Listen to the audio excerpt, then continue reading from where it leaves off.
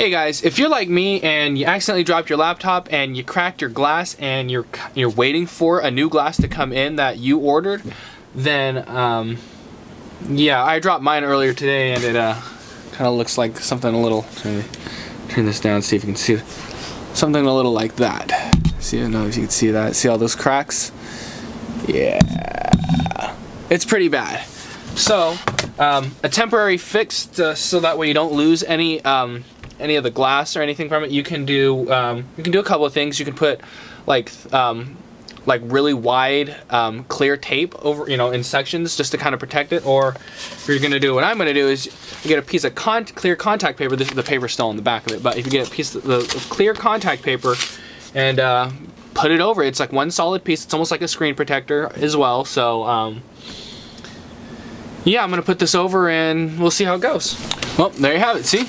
Now what I did with the cameras, I kind of niched out a uh, little square spot. Now I know um, it kind of bubbles up a little bit, you know, for, for a temporary fix, this helps until you can get in a new glass. And I found just the glass for um, for MacBooks and MacBook Pros anywhere from about 30 to 30 to 35 dollars, which is a lot cheaper because.